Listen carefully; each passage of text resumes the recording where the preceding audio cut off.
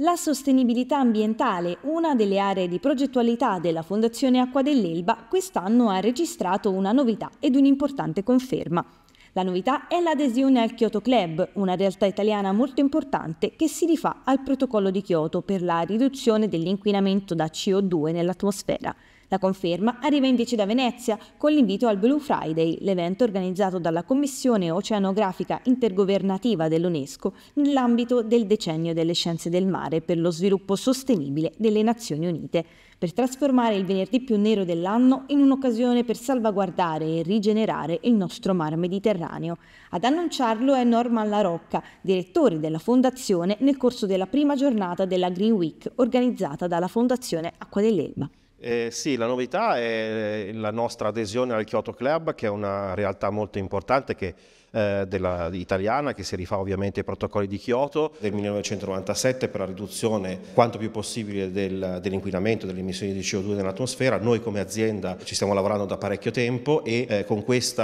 nuovo tassello, nuovo passo cerchiamo di fare qualcosa eh, in più e che andrà anche a portare nuove progettualità nel futuro. Per eh, i prossimi giorni un'altra interessante attività che svolgeremo e siamo stati molto fieri di poter essere stati invitati in questo evento è quello del Blue Friday di UNESCO UNESCO del decennio del mare. Eh, in quell'occasione eh, parleremo di consumo responsabile, eh, di utilizzo in maniera consapevole del denaro, soprattutto in un periodo come questo, che è quello del Black Friday, in cui siamo sovrastati da sconti di ogni tipo, il che è un bene, non demonizziamo certamente queste attività, facciamo solamente notare che il denaro può essere anche utilizzato in maniera diversa, come per esempio quella legata alla nostra Green Box, che viene donata proprio in questo periodo a tutte le persone che fanno un acquisto di almeno 100 euro e il cui ricavato di questa operazione andrà a sostegno delle attività della Fondazione Acqua dell'Elba e quindi un uso responsabile del denaro che poi dopo si riversa sul territorio nelle cinque aree di progettualità della Fondazione che sono appunto l'ambiente, l'arte, l'istruzione,